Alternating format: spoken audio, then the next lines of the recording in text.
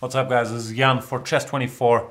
The eighth round in the candidates has been played. That means the second half has started because it's 14 rounds total. And we're gonna take a look at the encounter between Fabiano Caruana and Hikaru Nakamura, the two American superstars. Both have struggled a little bit in this tournament so far. Therefore, their matchup is not as highly anticipated as Batman vs. Superman or other clashes of American heroes, but it still is a marquee matchup. Fabiano Caruana drew all his games so far, seven draws after seven rounds, is gonna be looking for his first win, while Hikaru Nakamura lost two games, won one, is gonna be looking to get back to 50%.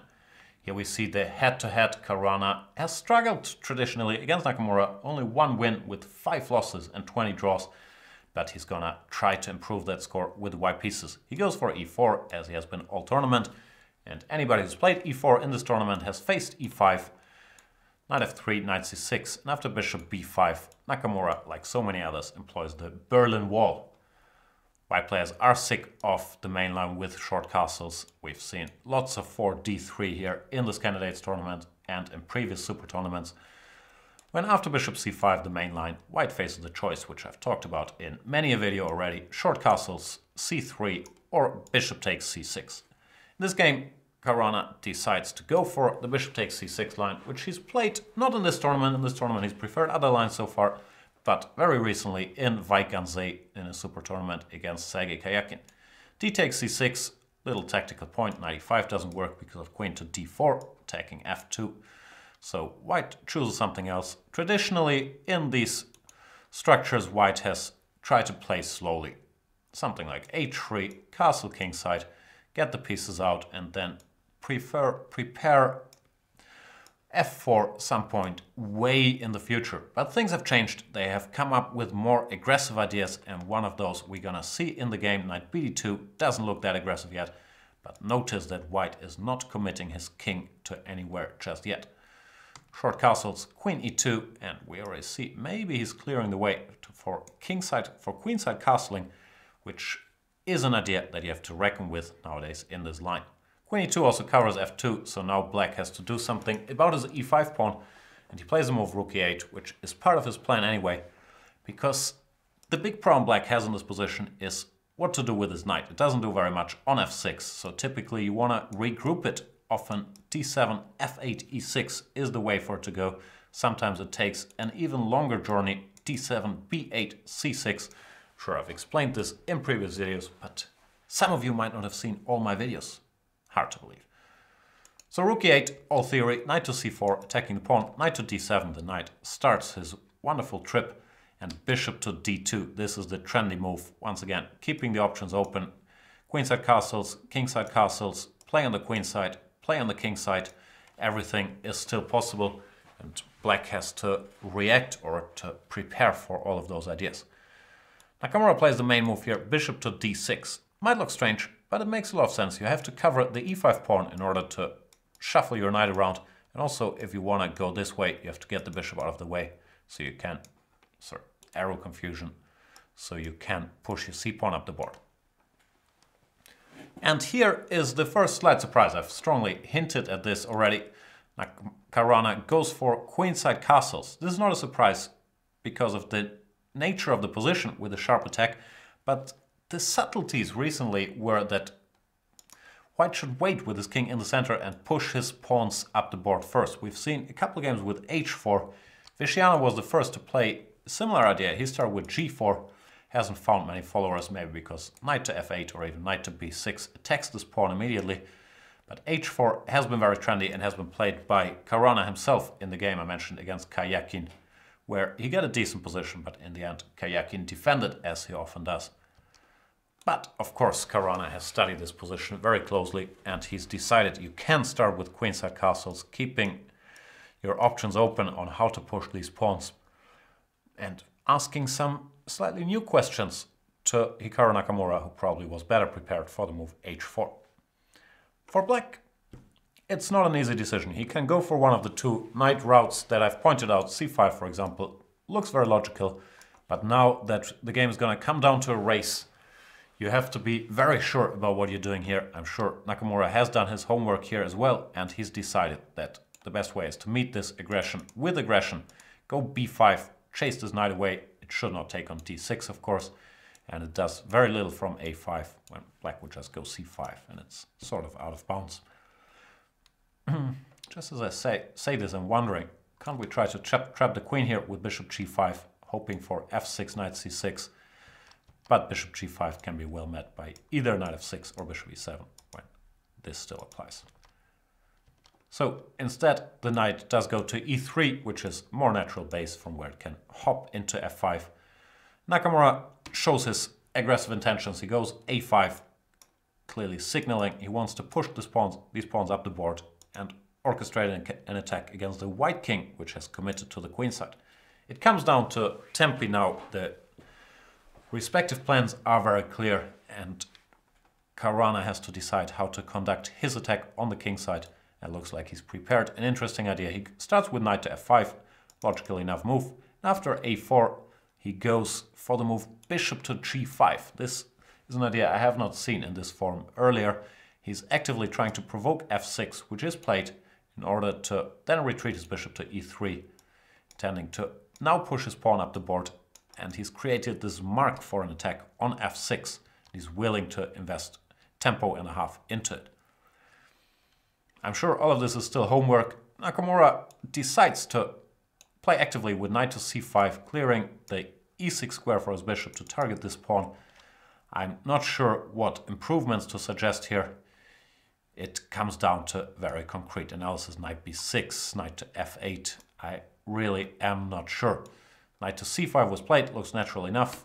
And g4, not wasting any time, planning to go g5 also right now, intending to recapture on f5 with the g-pawn, should he be given the chance. Nakamura goes bishop e6, targeting the a2 pawn. White should keep that, and therefore he defends it with king to b1, and he pushes b4, showing his intention to open the queen side immediately by playing b3. a3 normally doesn't accomplish very much because white just goes b3 and keeps the structure closed. Therefore, b3 is the way to create some play. Caruana does not bother thinking about defense here. This is a first come first serve sort of position. You have to hurry up. He goes g5 intending to open the g file after rook g1 to threaten g takes f6. No prizes for guessing the next black move, b3. But now it's decision time for Fabiano Caruana.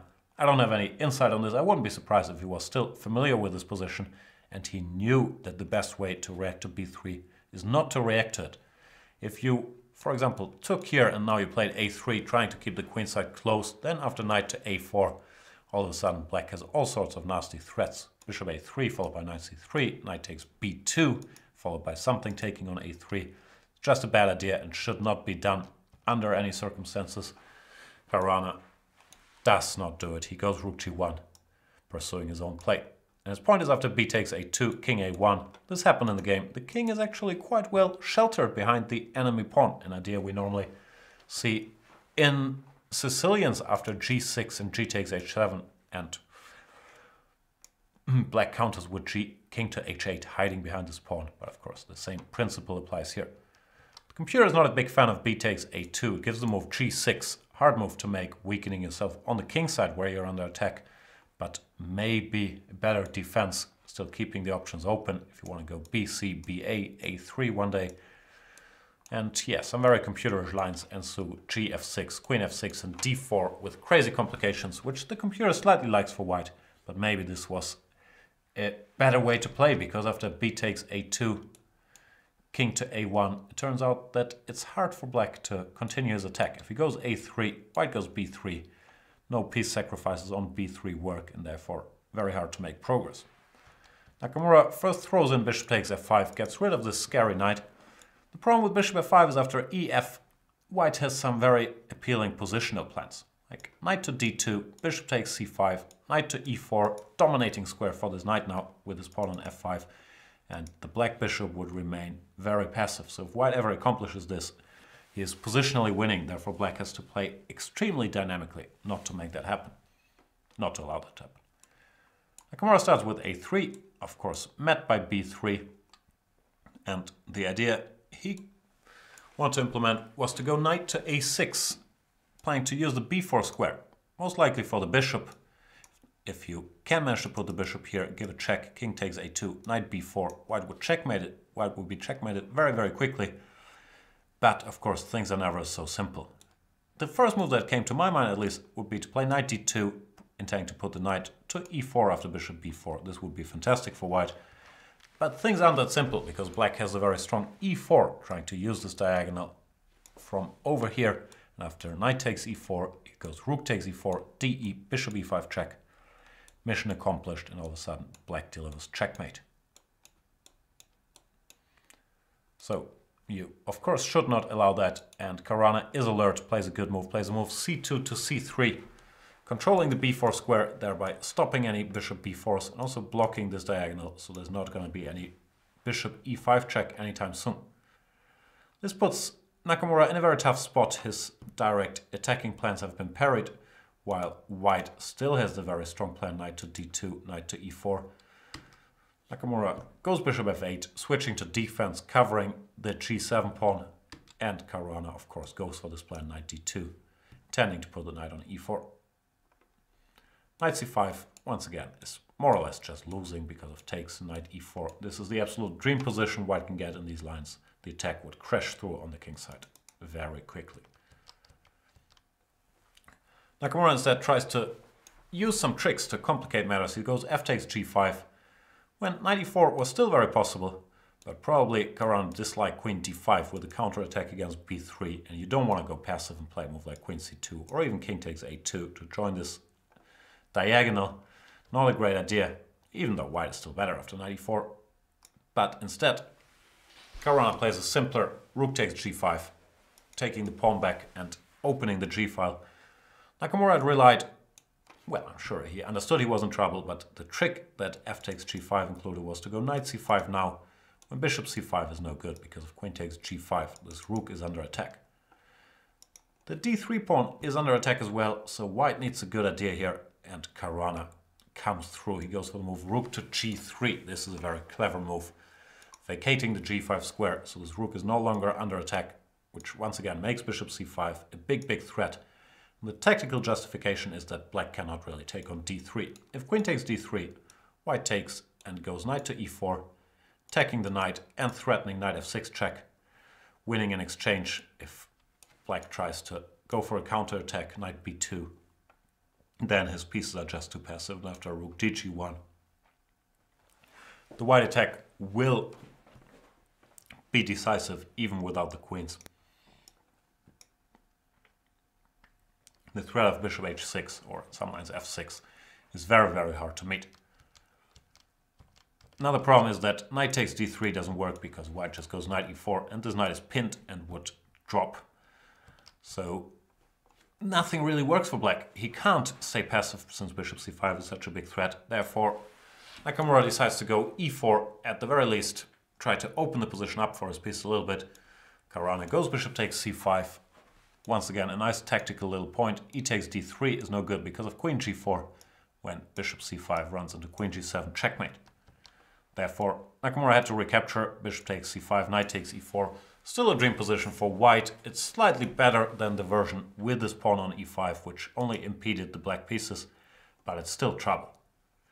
Nakamura from far away had probably relied on a little trick, bishop takes f2, trying to use the various pins in the position it turns out it does not really work because of queen takes f2, rook takes e4, trying to exploit this loose rook, but just rook g1, attacking g7 and attacking the rook.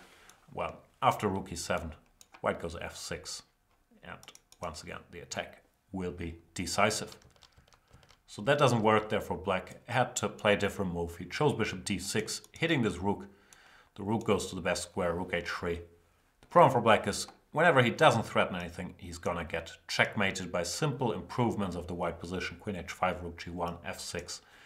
Long term, the white attack is unstoppable. So you gotta keep asking questions.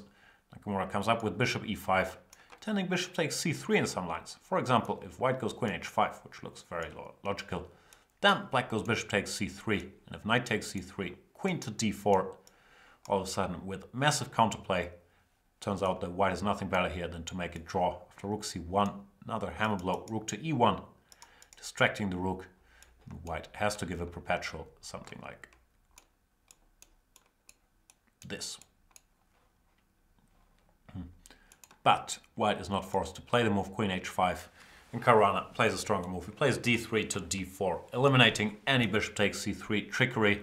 He's rightly judged that this knight is solid enough even without support from this pawn. Worst case scenario, you can always defend it with f3. Well, d4 also opens a useful way for the white queen towards the black king. Bishop f6, what else? And a quiet but very strong move, rook g1. The white pieces are just qui quietly, slowly moving into attacking positions. Nakamura tries to create some counterplay, rook b8, attacking this pawn. But Caruana understands that now he has so much control over the position that he can just take on a2, defend the b3 pawn, and the black attack is not really going anywhere because queen d5 runs into a huge family fork with knight takes f6, 2 to the pin. Nakamura tries bishop to h4, at least blocking the h file for now and preparing queen d5 since knight f6 no longer works. But Caruana had it all figured out. He answered with rook to g4, attacking the bishop. Bishop, of course, can't really retreat. That would just be loss of time. After bishop f6, the white attack is lethal. For example, check, queen f7, threatening all kinds of nasty things like queen g6, rook takes g7. Many things, many ways lead to Rome. c5, for example, rook takes g7, bishop takes g7, f6, threatening checkmate, rook g8, knight to g5, threatening checkmate, h6, rook takes h6, bishop h6, and queen h7. Oops, not this one, but queen h7 is indeed checkmate. No surprise there. Instead, Nakamura tries queen to d5, threatening checkmate of his own with queen takes b3 and queen b1. But this leaves the bishop en prise and Caruana plays the easy to spot Zwischenzug c4, attacking the queen, defending the b3 pawn, when no matter what pawn this queen would take, queen takes d4 or queen takes f5, white would just take on h4 with an extra piece and an ongoing attack. Nakamura did not have to see that and therefore he did resign after c4. Very good game by Fabiano Caruana who, yeah, I believe played flawlessly, had probably done some very nice, very deep homework and just showed that the position with this mutual pawn race seems to favor white. The star plan, I think this is homework, but the idea to spend a tempo on bishop g5 to provoke f6, then to evaluate that this plan is fast enough, is very impressive. Modern chess, the execution was flawless as well. I'm not 100% sure where Nakamura went wrong. I think you probably have to start looking for alternatives quite early here. Investigate plans with c5, knight b8, knight c6, or maybe plans with knight to f8 as well. Practice will tell, I'm sure we haven't seen the last of this line, but for now, an important victory for Fabiano Caruana to get back into contention. He moves up to plus one to four and a half out of eight. And we're gonna look at the standings. If you don't want to see them, switch off the video now. But I'm sure you do. Here we go. Sergei Karjakin and Levon Aronian continue in the lead on 5 out of 8 or plus 2. Two wins, no losses. Sergei Karjakin got extremely lucky or extremely tenacious, as he tends to be, against Peter Svidler, managed to save a bad, bad endgame, while Levon Aronian played an unspectacular draw against Anish Giri. Vishy Anand also drew his game against Veselin Topalov in the 8th round, is still only half a point behind the leaders and is joined there by Fabiano Caruana. Those are the four players with a plus score. And we have Anish Giri, who drew all his games, Peter Svidler, who can't catch a break, just can't manage to win a game even though it says one here, which is incorrect. I don't know why. He did not win that. He's on three and a half out of eight.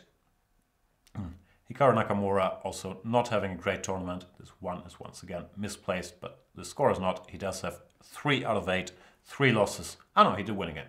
Three losses, one win. And Veselin Topalov even worse on two and a half out of eight with three losses and no wins. So that's the situation in the candidates tournament. Still Six games to play, so anything can still happen. Four players very close to each other at the top of the rankings. Stay tuned for more. Thank you guys for watching this video.